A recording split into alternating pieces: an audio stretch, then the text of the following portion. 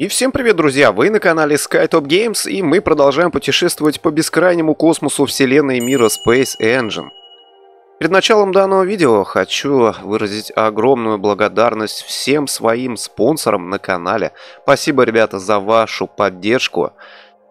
А также хочу сказать огромное спасибо нашему новому мододелу по Space Engine, Ване МТА, кстати, сегодня мы рассмотрим еще очередной его мод. Земля – спутник Сатурна. Вообще, возможно было бы это или нет?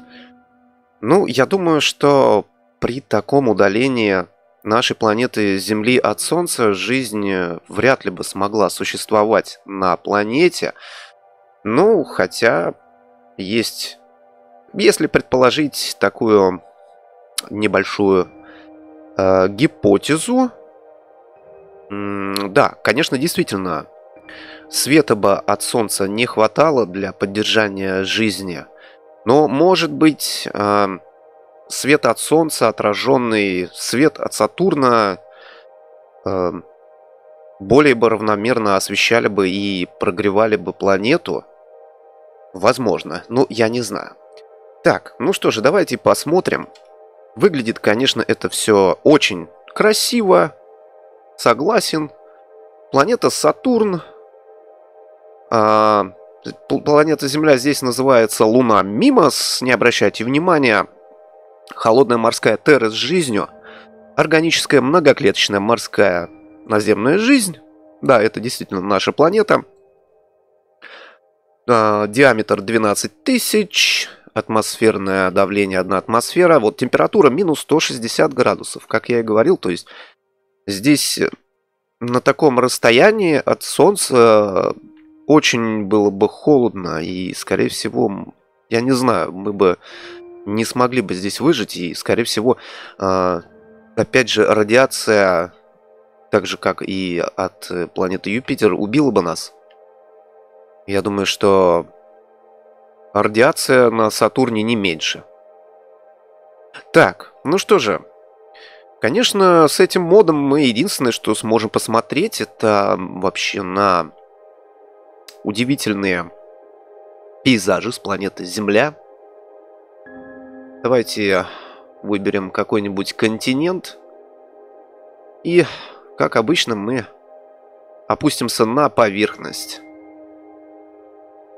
Так, это у нас, значит, дневная сторона.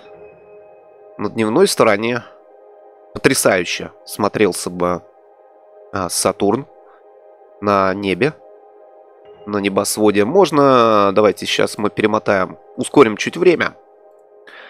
Посмотрим на движение всего того, что мы сможем только увидеть. Вот так бы выглядел бы, наверное, Сатурн на горизонте. И посмотри, можно увидеть э, обращение других спутников Сатурна. Карликовая луна Пандора. Так, луна Пан. И э, луна Калипса.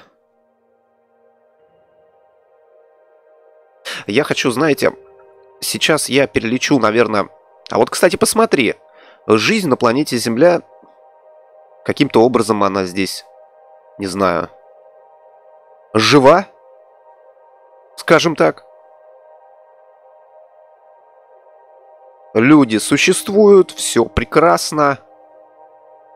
Ох, невероятно. Мы в какой-то пустыне. Пустыня Сахара, наверное. Невероятно! Посмотри, как бы смотрелся Сатурн на дневном небе. Так, подожди, что-то темновато как-то. А где Солнце? А, то есть я понял.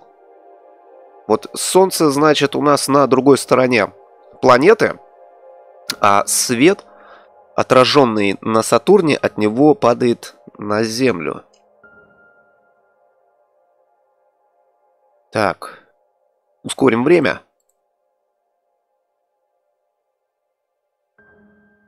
Или... Да. Вот сейчас, кстати говоря, возможно будет солнечное затмение.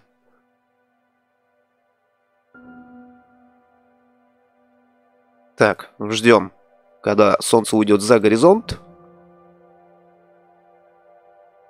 То есть, посмотри, на ночной стороне все равно было бы как бы, ну, светло.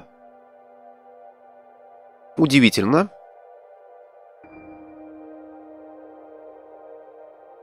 Просто шикарные пейзажи.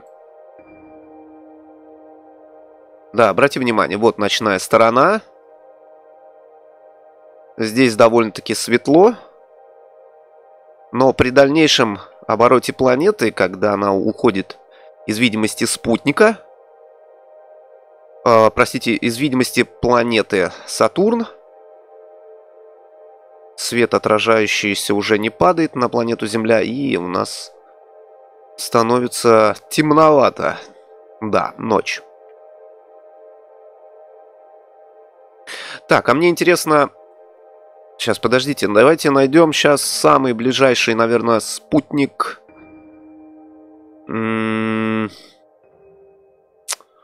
Сатурна и посмотрим. Я хочу посмотреть на планету Земля с него. Так, расстояние 186 тысяч километров.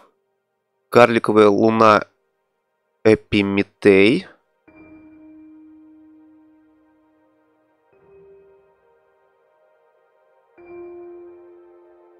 Представляешь, если бы планета Земля располагалась прямо в кольцах. Хм. Здорово. Вот такой криогенный астероид. И Землю отсюда очень хорошо видно.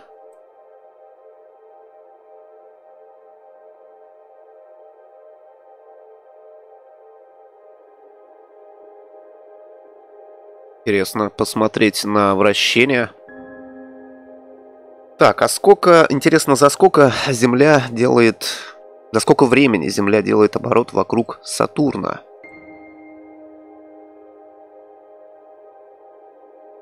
Непонятно. Не написано так. А что у нас по истории? Может быть, что-то в истории изменилось? В Википедии. Так, физические данные атмосфера Э, азот О2, аргон H2O. Ну, в принципе, все те же параметры, что и были на планете Земля, как бы ничего нового.